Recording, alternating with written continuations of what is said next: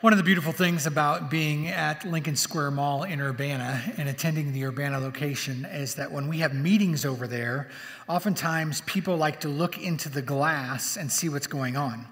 And I'm a people watcher. Anybody else like to people watch? Okay.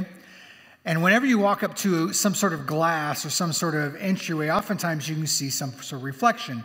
And you'll see people that will turn and, you know, not me, but, you know, check out their hair or whatever, you know, or make sure there's nothing in their teeth or whatnot. Or my favorite is always when little kids come up, you know, and like they're acting out something or being some superhero. It just makes me laugh because the truth of the matter is when they walk up to that glass, they don't see, because of their own reflection, they don't see what's on the other side of it. They don't see what's happening.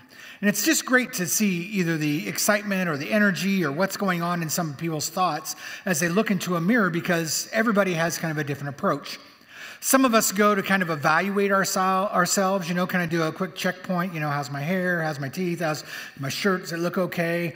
Um, you know, some of us go up and we try and just make sure that we're put together for a meeting, whatever it is, we evaluate ourselves.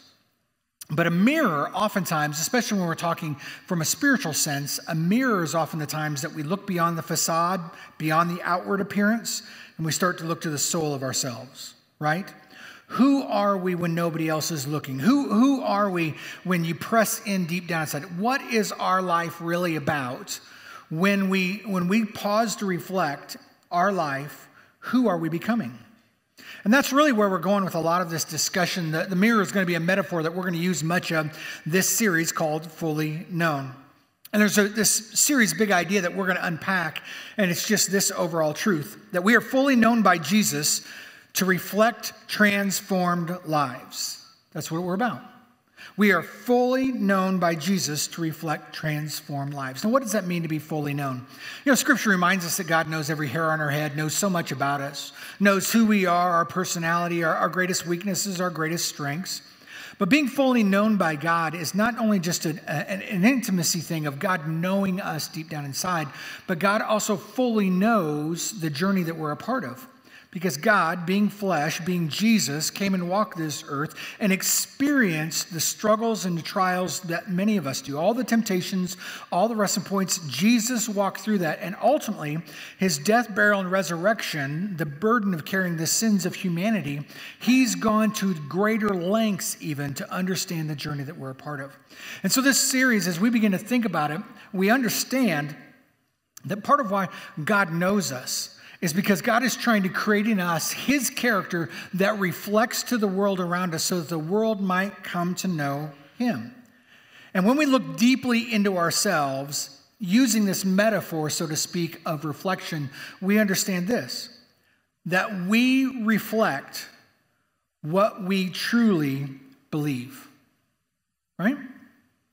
Our lives reflect what we truly believe, what we truly value, what we say is authentically true about ourselves. And so, for many of us that have put our, our paw in the air and say, Yeah, we believe in God, we believe in Jesus, the challenge becomes Does your life reflect that? Or when we peer into the mirror of our souls, what do we say are the values? What are the things that are really being project, projected from ourselves about our work, about our play, about our home, our marriage, our wallet. What does it say about who we are and the character that we share? I want to encourage everyone, if you've not had a chance to grab this booklet, uh, you have seen it probably out front, but there is a booklet for you if you would like to grab one. And this booklet, fully known, is to help you take this uh, series with us and have a weekly conversation about it. Uh, matter of fact, there are places where you can take sermon notes. Uh, there's places in here where you can do a daily journal. We've taken some key words per chapter that help you understand this book, First Peter. But the challenge is this when people ask, what is the most transformative tool to help us grow our faith?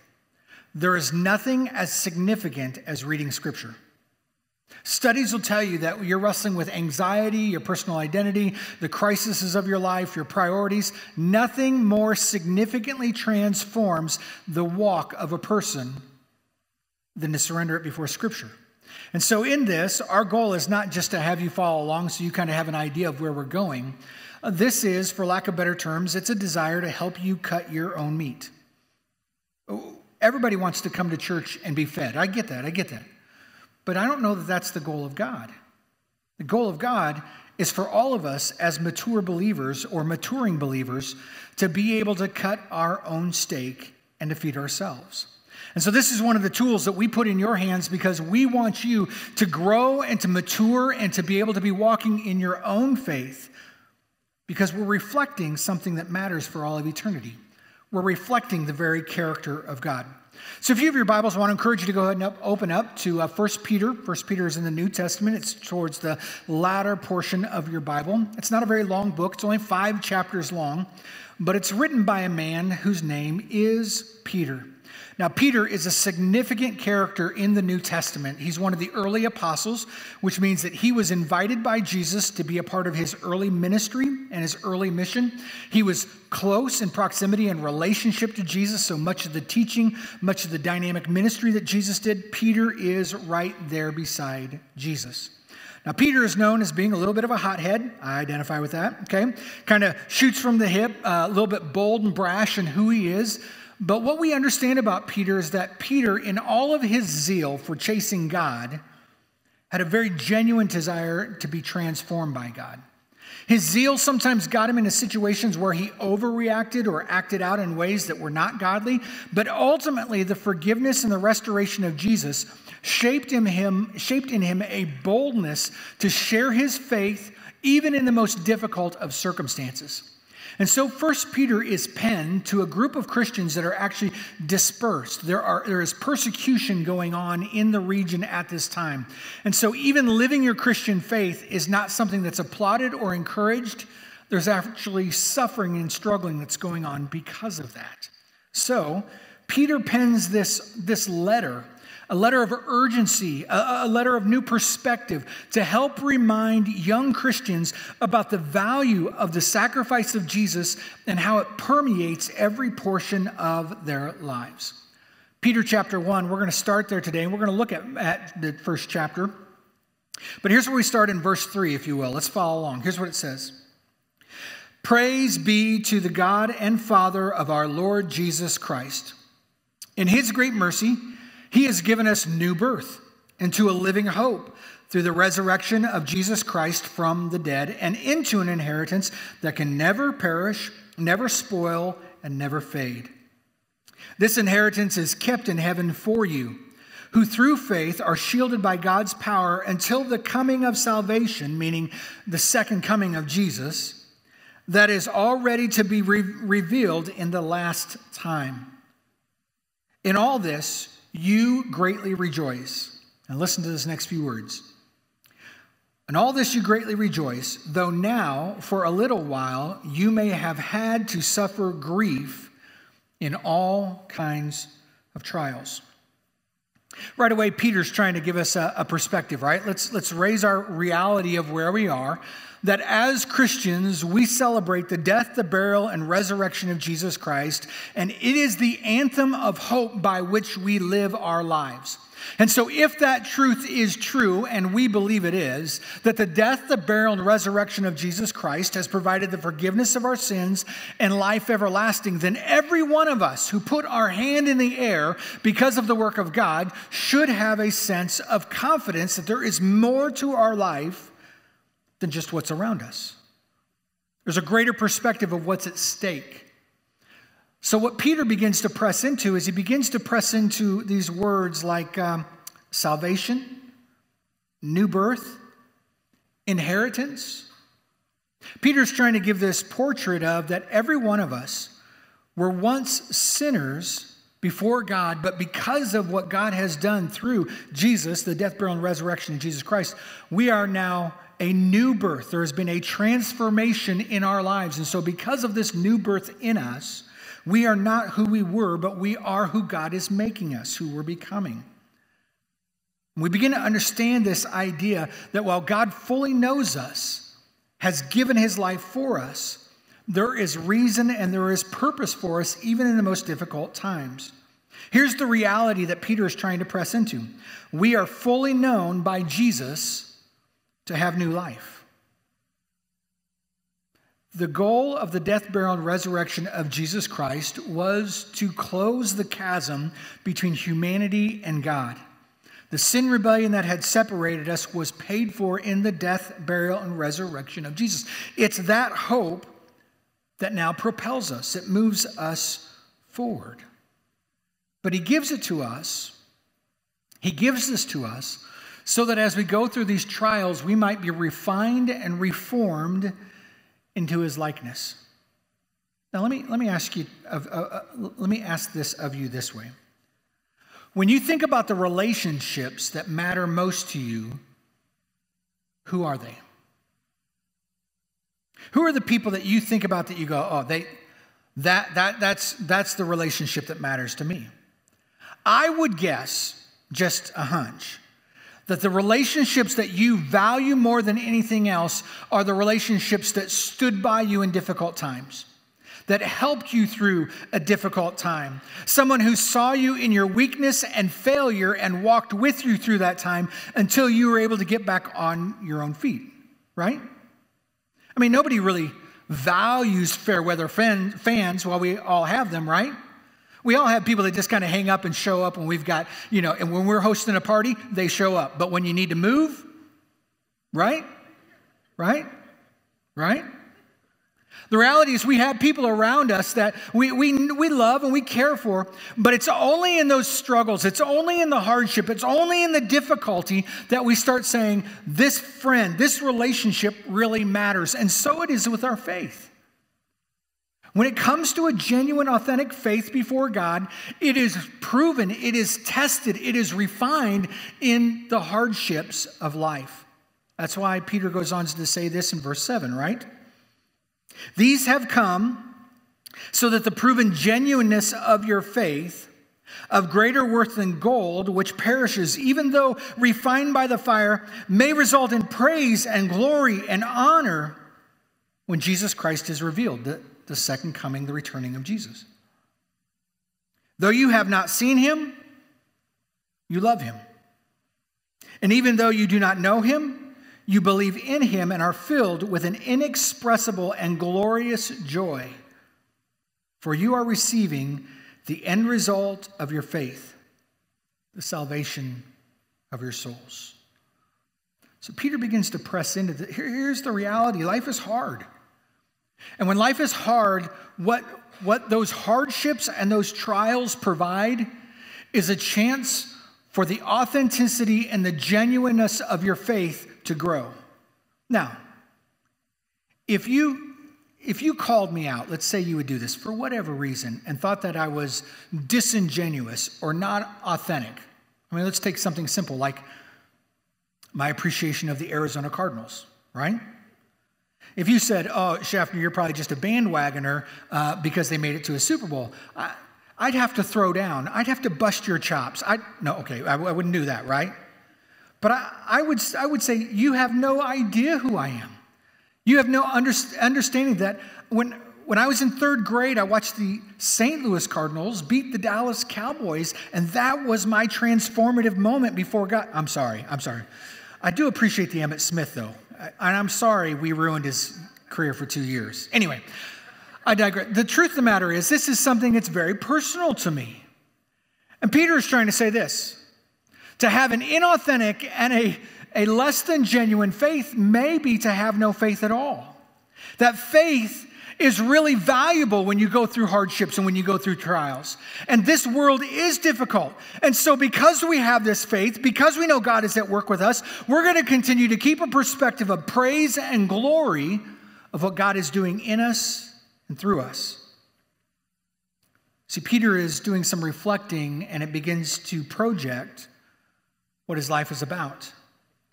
When we reflect back, when we look back on the salvation that God has given us, it begins to press us into the heart of what this letter is ultimately about. How do you live in a society that you feel like an outsider? How do you live your faith when things are going wrong? How do you become the refined project that God wants you to be, a person in Him, without going through hardship? It's difficult. The easy road does not shape Christians into their Christ. It's only through the struggle and hardship. That's why he says this in verse 13. Therefore, with minds that are alert and fully sober, set your hope on the grace to be brought to you when Jesus Christ is revealed at his coming. Are, are, you noticing that Peter is speaking with a perspective that Jesus Christ will return? Jesus Christ will return. Jesus Christ will return. Well, what we will all stand before God one day. So, as obedient children, do not conform to the evil desires you had when you lived in ignorance, but just as he who called you is holy, meaning God, so be holy in all that you do. For it is written, Be holy because I am holy. You know, as Christians, we do live in a difficult time, and oftentimes it's easier to blend in or to fit in than to stand out. Oftentimes, when we talk about this, this word holiness, oftentimes people jump to morality. You know, we make the joke, right? I don't smoke, drink, or chew or go out with girls that do, right? We, like, like we're trying out for an Eagle Scout badge or something, right? But that's not what holiness is in and of itself. Yes, there is a sense of morality, but when we think of holiness, we need to realize that God is calling us to live in the whole character of Him, not just in love and grace, but as in truth and justice, meaning that there is a refinement of our own character to surrender ourself and look more like our Savior. But holiness, or to be holy as God is holy, is the idea of living out the whole character of God in every area of our lives, from the way that we eat, we think, act, and speak. That every relationship, every priority that we would have would be surrendered before God and say, God, what would you do? How would you have your way in that relationship? It's the whole character of God. But holiness is not only about God's character, it's about his mission, his will. That we would reflect the full character of God and we would live the full mission or purpose of God. That as people who have said we believe in the sacrifice of Jesus Christ, we would be the kind of people that would not only begin to be refined into God's character, but we would surrender our lives in such a way as say, God, have your way in me. Your will, not my will. Your way, not my way. And so you think about the implications of that. It begins to confront the very things of, you know, our, our home life, our marriages, our relationships. It begins to confront the way that we work, the way, the, the way we treat people at work, the way we, we treat people where we play. It, it begins to impact the way we leverage our wallet, the way we speak about one another, the way we care for those who are oppressed. All of this begins to be shaped because as we're growing in the whole character of God, we are even surrendering to the whole mission and purpose of God. His will, His way on earth as it is in heaven. Peter presses in over the next few verses, and what he does is he gives a challenge that we have kind of four values that we're going to hold above everything else. And holiness is that value that holds it together.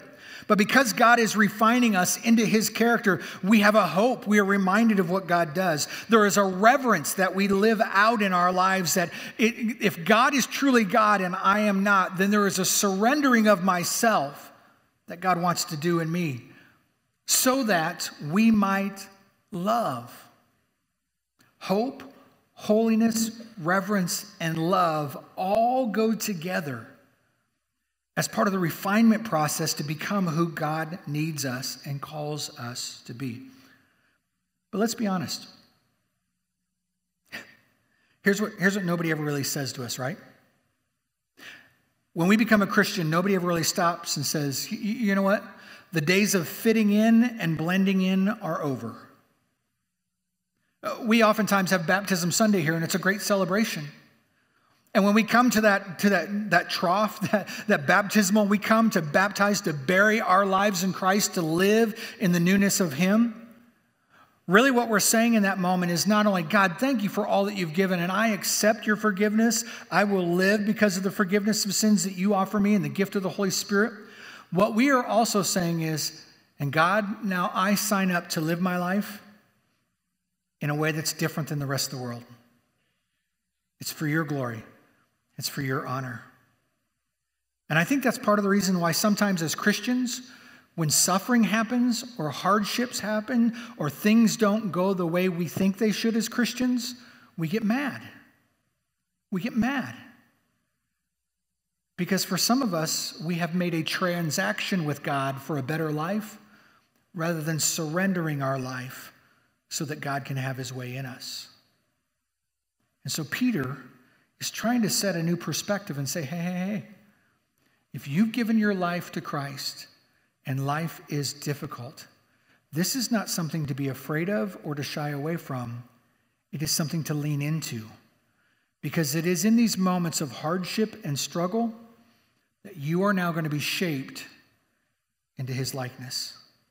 Here's what it says in verse 22 Now that you have purified yourselves by obeying the truth, so that you have a sincere love for who? Each other. I mean, this is partly what's at stake, right?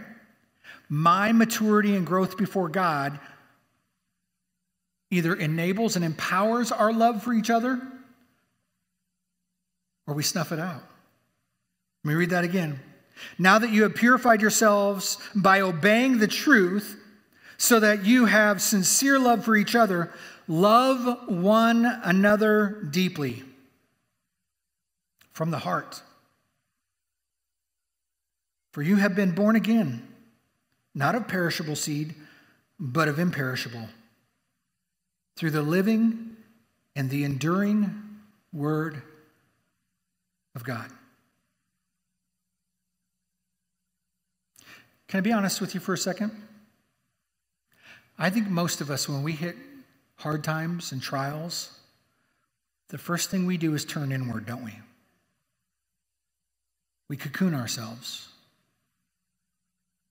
And sometimes what happens is we find ourselves very, very, very, very, very alone in some very difficult times. And it is true, God is with you. And it is true that God is for you. But the perpetuation of always turning inward through hard times creates a callousness in Christians that we quit reaching out and loving others. The vulnerability that Peter is calling us towards in this point is a love of God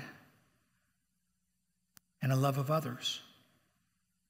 And when we continue to turn inward to ourselves, we begin to isolate and exclude not only God's work in us, but the very mission and impact that we could have on the people around us. So Peter is making it very clear. God has given you so much more than you could ask or imagine, and life is hard. They are not disconnected, they go hand in hand so that the gift that God has given you might sustain you to refine you, so that even in the midst of difficult times, your ability to love God and to love the people around you would grow and flourish. When we do that, we're able to reflect God's character, even in the most difficult of circumstances.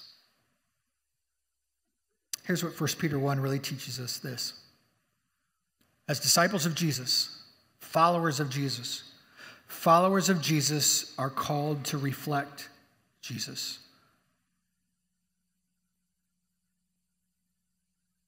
So, what does your life reflect when it gets difficult? What do your posts on Facebook say about your character or who you are when life is hard? What do the conversations around the water cooler reflect about you when life is difficult? Now, this is not a message series to talk about how we're just going to slap a Jesus bumper sticker on everything when life is hard. But what we are going to do as Christ followers, we're going to be genuine about the struggle that we're found in. We're going to be authentic about the work of what God is doing in the midst of us. And even in the trials and circumstances where life is more than we can seem to bear, we are going to trust that God is at work in each and every one of us. And in doing so, in keeping our hope in Christ, and allowing Him to shape His character in us and around us, and to live in a reverence of fear and understanding and respect that God is ultimately in control, our ability to love will grow stronger even in times of trial. So let me just ask you what kind of faith do you want? When you begin to look at your life and the hardships that you're a part of and the struggles that you've been again been a part of, what, what kind of faith do you want? Do you want a faith that fades when things get difficult?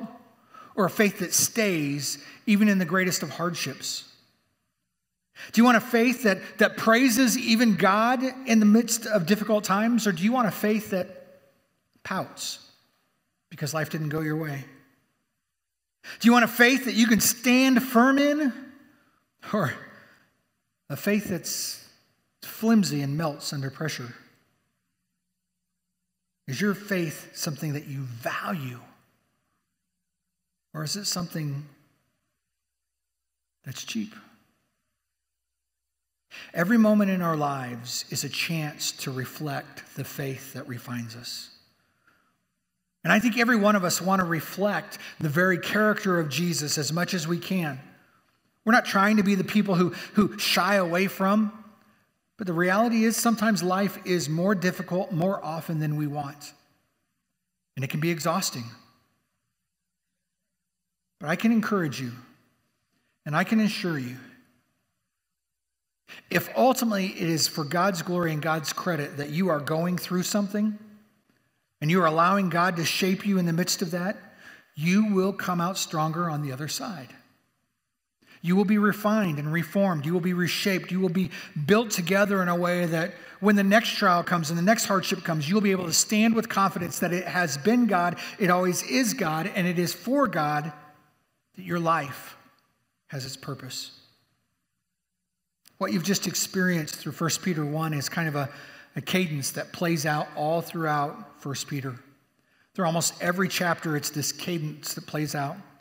Peter will declare a reality this is who we're called to be. He will share the implications of what happens when that reality is true. And then there will be a challenge, a call to obedience. Let me say it this way here's the cadence from reality to implications to a call of obedience that plays out over and over and over through 1 Peter. Now, I know most of us love a message that's about God's love and God's grace and God's encouragement. And sometimes a message with strong truth like this can seem overwhelming. But when we begin to press into this passage, as we begin to press into the truth that's found in 1 Peter, we will be reminded of this reality that we have been sinners. The implication is that we need a Savior, and ultimately we are called to have faith in Jesus alone. Why? Because life is messy and lives are not perfect. So we have to lean into our identity in Jesus. And when we have faith in Jesus, there's a call to, to baptism, to surrender our lives before Him. And so we need to begin to be prepared to be the kind of people that will live out God's obedience in every area of our lives. Whatever it is in your journey, whatever it is in your walk, when hardship comes, when trials appear, don't run away. Press in. Trust that God is at work and allow the one who deserves the praise for the very salvation that we claim to work in us, to refine us, so that our ability to serve and love and live the mission of Jesus begins to permeate every portion of our world. Let's move to a time of response.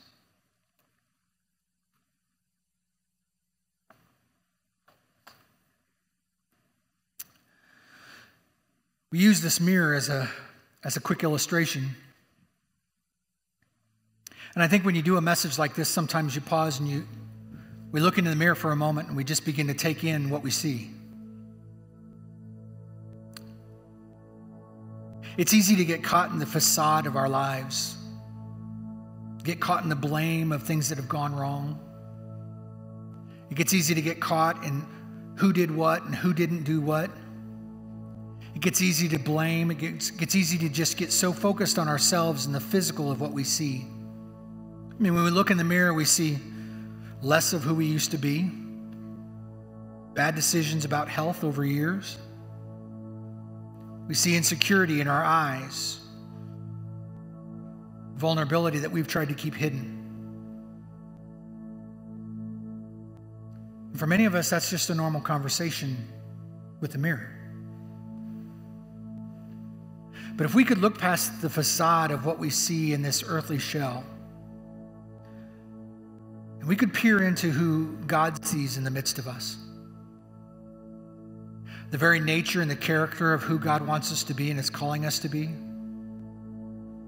If we could peer in and begin to understand that God not only sees so much more in us than just our ability or our talents or the uh, opportunity to make money or the girl on our arm or the car that we drive, if, if we could look in and we could just see for ourselves that the brokenness that we, we try and hide could be made whole. If we could see that some of the impurities of our heart, the the greed, the envy, the anger, the things that the things that cloud us from fully living out our walk with God, if we could if we could see those things, we would recognize that God is God is allowing the hardships of our lives to maybe bring those to the surface.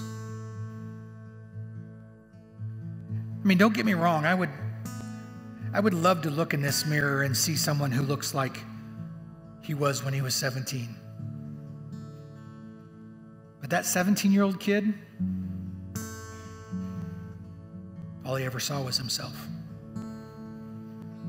All he ever saw was himself in the, in the sports that he played, the music that he performed, the girls that he dated, the jobs that he had. All he ever saw in a mirror was himself. And I don't know about you, but I want to see more. I want to go beyond the facade of what everybody can see. And I want to become the person that God created me to be. And so that 17 year old kid, that 16 year old kid who is full of himself and so full of pride and zeal, it doesn't just walk away from him. I don't just stop being that kid. It takes difficult times. It takes honest conversation. It takes failure, vulnerability, obedience before God, repentance of who I was, trust to take steps forward. If there's anything that I believe First Peter is going to teach us is that God is not only at work around us, but God is at work in us. In our identity, in our value, and who we are deep down is not going to be measured by the car that we drive, the home that we own, the girl on our arm, the money in our wallet, the job that we have, the friends that we're surrounded by, the likes on our social media. None of that. It is rooted in the death, burial, and resurrection of Jesus. That gives us a hope to endure, to persevere, to be strengthened. You know, we live in a sports town. I always love sports cliches. They're so good for discipleship, but nobody really wants to use them, right?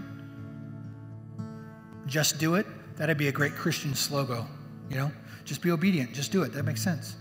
No pain, no gain. That's awesome, you know? But when it comes to our walk with Jesus, just doing it,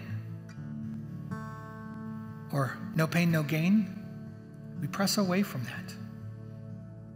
And I want to dare you. I want to dare you to be a part of the next four weeks and allow Scripture to speak into your soul as you begin to see a group of Christians that in that early first century, they weren't just disliked, they were arrested, they were beaten, they were taken advantage of because they claimed to follow the way of Jesus. And in those difficult times of suffering, while they were in roles of government or in roles of relationship or roles of business, while they felt oppression, God continued to grow up in them His character beyond the physical facade to a depth of genuineness and authenticity. So I'll dare you. How about you grab a book?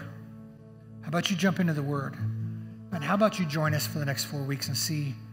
See how God takes all the battles and all the struggles, all your weaknesses, and begins to work through them. And let's see how God grows us through His Word, through our obedience, to become the people that not only love Him even more, but live as a movement of love in the community that we're a part of.